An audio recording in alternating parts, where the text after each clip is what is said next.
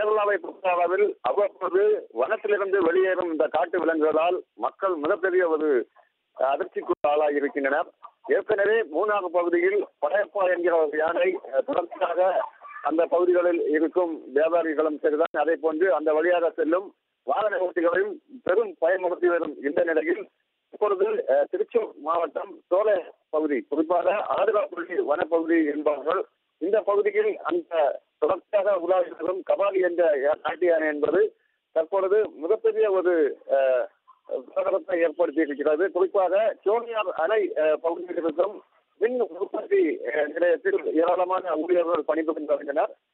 கடந்த சில நாட்களாக இந்த யானை என்பது ஆந்திரா பகு- பள்ளி வனப்பகுதிக்குள் செல்லும் சுற்றுலா பயணிகளை பெரிதும் அச்சுறுத்தி வந்தன. இந்த நிலையில் நேற்று மாலை அந்த மின் உற்பத்தி நிலையத்துக்குள் முயல அந்த யானை என்பது முற்படுகிறது. அந்த காட்சியை தான் பார்த்து கொண்டிருக்கிறோம்.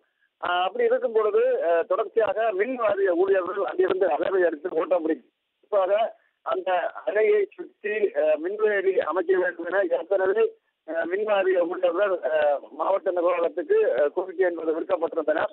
ஆனால் மின் வேலி என்பது அமைக்கப்படாத நிலையில் காட்டு விலங்குகள் என்பது அவ்வப்போது இந்த அணை அணைப்பகுதிகளுக்கும் சரிதான் அதே போன்று மின் உற்பத்தி நிலையத்திற்குள் நுழைந்து வருகிறது. அந்த நிலையில்தான் இதே போன்று கபாலி யானையும் தற்பொழுது முயல உள்ளே நுழைய முயலும் பொழுது அலறி அடித்து ஓடுகின்றனர். அங்கிருக்கும் ஊழியர்கள் இந்த காட்சி என்பது தமிழ் வலைதளங்களில் மிகப்பெரிய ஒரு வைரலை ஏற்படுத்தி வரும் இந்த நிலையில் அந்த மின் உற்பத்தி நிலையத்தை சுற்றிலும் மின்வேலி அமைக்க வேண்டும். அல்ல இல்லை என்றால் ஆலை அமைக்க வேண்டும் எனவும் ஒரு கோரிக்கை என்பது மின் மின் உற்பத்தி ஊழியர்கள் தற்பொழுது விடுக்கப்பட்டிருந்தனர்